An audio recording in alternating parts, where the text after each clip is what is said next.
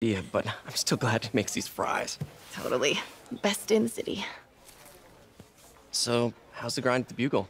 Hmm. Well, yeah, well, I just got an all caps text from Robbie about my so called antics tonight.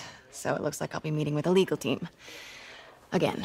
Uh, as soon as he reads the article you're gonna write, guaranteed promotion. So, creepy mask guys. What's your take? Just another night in the city. What's your take? I feel like there's a bigger story there. Let's not make this all about business. How's how's it going with you? Did did you get that promotion? No, but we're on the cusp of something really big. You know Oscorp would hire you in a heartbeat, right? One phone call to Harry. Sure, but Dr. Octavius's work will help millions. I'm, I'm right where I want to be, right where I should be. Almost sounds like it's more important than your other job. I've never heard you talk like that before. A lot can change in six months.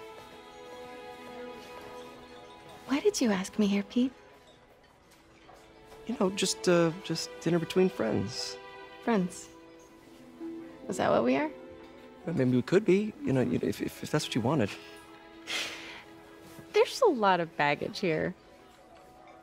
Yeah, sure, but is that so bad? I mean, baggage can carry good things too, like uh, like money and uh, keys, and raspberry lip balm.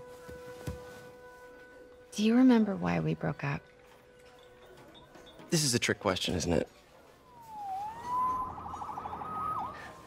Saved by the siren.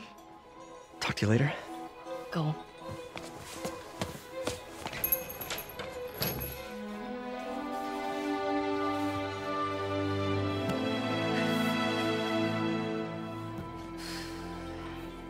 Love seeing you two together again.